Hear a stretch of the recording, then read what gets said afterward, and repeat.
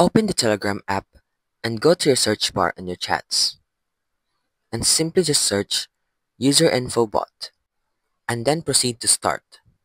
Once you've found the right user info bot, go to any chats that you have or any conversations that you made and simply just copy or forward the chats that they made. As you can see here, I am holding down the chats that I made and simply just forwarding it to the bot or the user info bot. After forwarding the chat, it should now tell you some information like your username, your ID, your first, and your language. You can also do the same for other conversations, and not just limited to your own chats. You can also forward the chats that your friends or other people made. And it should also tell you information like their user, their name, and their language. And that is how to find someone on Telegram without username and phone number.